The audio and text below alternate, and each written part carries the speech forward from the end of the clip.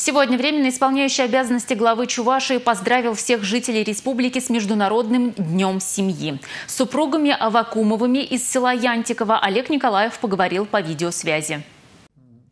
Более 70 лет вместе.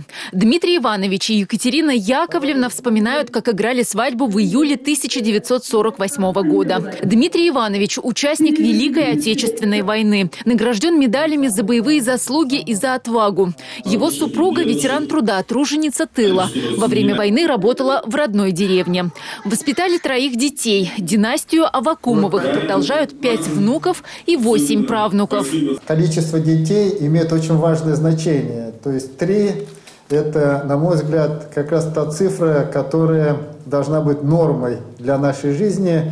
Дмитрий Иванович и Екатерина Яковлевна – людей, которые прожили много десятков лет уже вместе и являются, ну, я бы так сказал, ярким примером того, а, как надо держаться вместе, как надо преодолевать а, те наверное, сложные ситуации, которые возникали в жизни.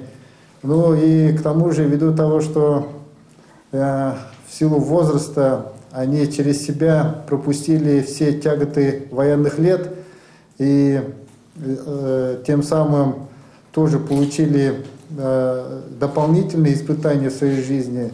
Самая большая радость для Вакумовых, когда вся семья собирается в родительском доме за большим столом. Внуки Дмитрия Ивановича и Екатерины Яковлевны уже воспитывают своих детей. Примером служат дедушка и бабушка. Мы очень любим, любим нашу семью, э, ценности нашей семьи, традиции. Любим очень собираться все вместе в нашем доме когда мы собираемся всей э, четырьмя поколениями, наш весело, радостно, дети приносят много радости в жизни.